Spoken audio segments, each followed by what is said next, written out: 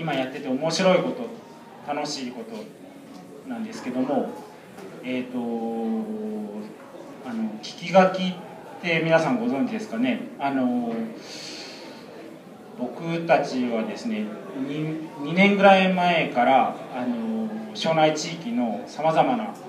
え、技術を持ってたりだとか、えー、仕事とか知恵を持ってる人のところに出かけていってお話を聞いてそれを文章化するっていうことを細々とやってるんですけども大体そういうあの、えー、訪ねていく先っていうのはおじいちゃんだったりおばあちゃんだったりするんですよね。でお話聞いてるとあのもちろんあの僕たちのその生活感覚とは違って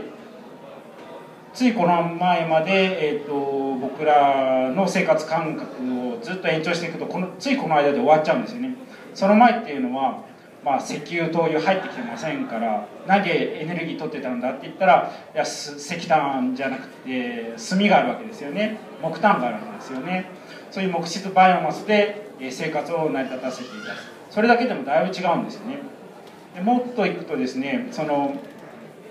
まあ食っていうものもすぐ食べられないですから保存食を作ってそれを戻したりだとかして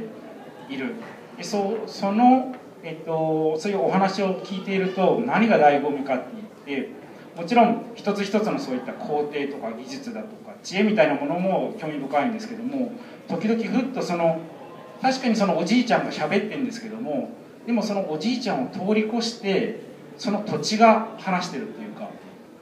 そこにこの土地に積み重ねられてきたその時間そのものが喋ってるというかそういった人と一言とかに出会うことがあるんですよ。でそれにその瞬間っていうのは